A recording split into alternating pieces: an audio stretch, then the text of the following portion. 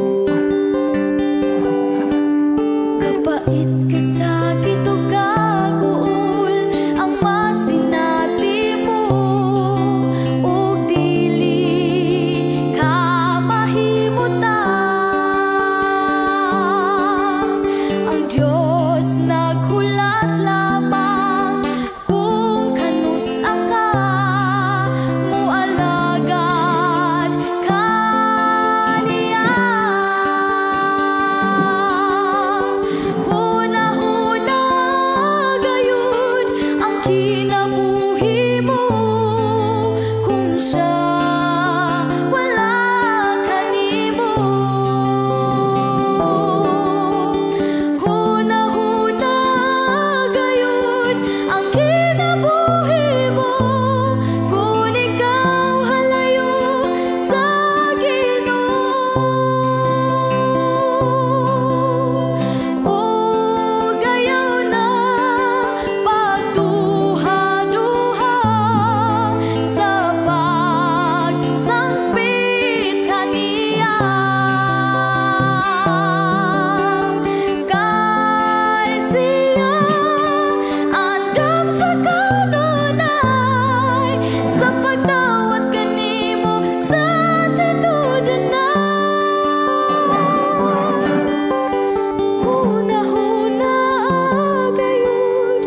kinabuhi mo kung saan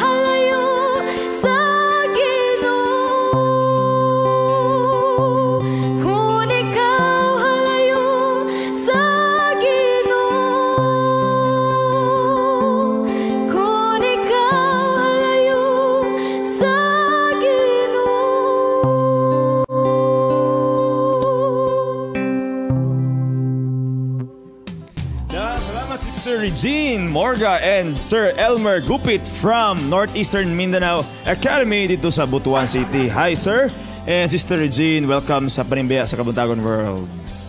Hello. Eh, karon niya nakakanta na ka sa atong arana sa Kabuntagon. Sige, bati ni mo karon Sister Regine. I am very kanang blessed kay ko kay nako diri ah, and one sa ako ang kanang gihandom pod nga makakanta ko diri ah. Wow, yes. praise the Lord for that. And I I guess uh, kani nga kanta mo iawit karon hono na is your original composition, right? Yes. Unsa imo ang influence or sa imo ang uh, um, matud pa nganong naka-compose ka nga kanta? Unsa imo ang inspiration? Okay, um ako alang is naay nag-ingon sa ako ang mag mag-compose daw ko kanta kay dindot na akong tingog unya kanang makakuan bitaw og mga kasing-kasing na. Okay, nya. Unya I'm kanang sa ako apod nga kaugalingon is kanang sa mga tao nga wala wala sila sa pagtuo bitaw. So, tong siya, huna-huna ah nganong ay nahunaon nimo kung walay walay ka sa Ginoo is mo to siya nasa lyrics nga kapait kasakit ug kaguol Yeah. yeah. mga kuan gid ma-feel I'm I'm so grateful nga nahimo na nimo no. Is imo talent para sa Ginoo. And Sir Gupit, yung sa nimo pag-discover aning imo estudyante sir nga nice ay talent sa pag-compose sa awit. Ug syempre naapog ka nga mag-accompany sa iya. Nag-abot ra gyud mi niya sa sa tulunghaan nato sa Northeastern Mindanao Academy. O nakita nako nga nagay siya talento o gusto po niya nga kani nga talento idalit ngadto sa Ginoo. Ito nga atuli wala gid akapila gini ang iyang gipraktisan ani nga kanta niya. Nihangyo sa sakuha nga Tumuduyog. ang muduyog sa iya. First time nako pod nakadungog gini ani kanta kay on composition man niya. Mo nga gipraktisan mo maayo. Ito nga kaluoy sa Ginoo amo gyud nakuha og nakapreset mi diri ka. Praise the Lord for that, sir. And I really commend you for supporting your students, no? Sa, sa labi na po sa iya, ha? O sa pagsuporta po sa iya nga talent. And I hope you will keep on doing that till Jesus comes. Okay? Thank you. And mga kapaglawan, madunggan pa nato ang ilang mga awit unya sa atong duha ka mga awit pa nga nabilin sa atong haranas kabatawan. But for the meantime, let's go back to our studio.